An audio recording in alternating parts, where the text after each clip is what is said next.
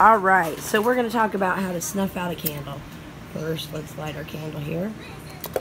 Get a little flame going.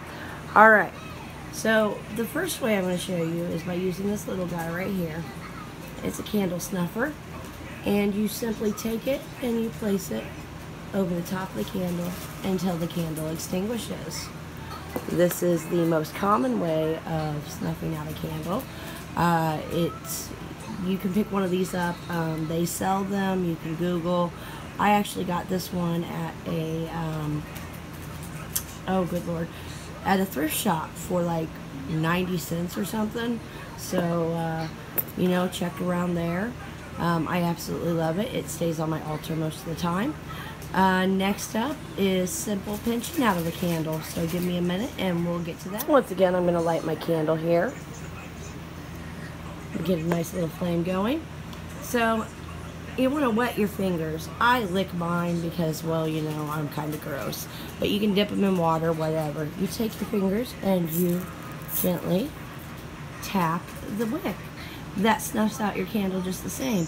To snuff means to remove. You're going to take the oxygen away. You're going to put it out. So uh, that's way two of putting out a candle.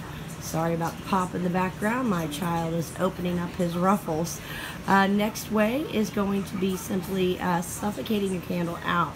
I'll show you that here in just one moment. Hi guys, last one I'm going to show you is how we just simply put the candle out using kind of uh, a removal of the oxygen and some pressure. As you see, my candle's going nicely here.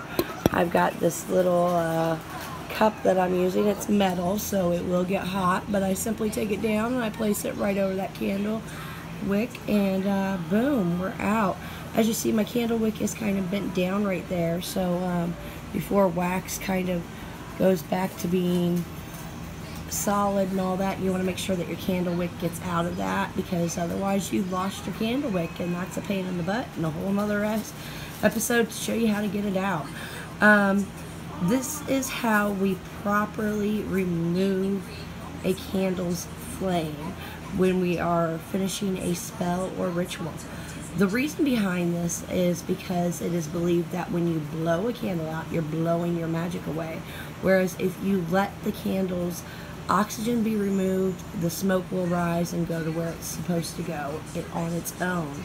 Um, there are other methods. There's a snap method that you can use where you snap your fingers, which I'm not great at it, so I don't snap my fingers to put the candle out. It's a really cool trick. Um, I may actually try to learn how to do it, and if I get it down, I will be happy to share. Otherwise, this is just basic candle snuffing 101, and thank you for joining me.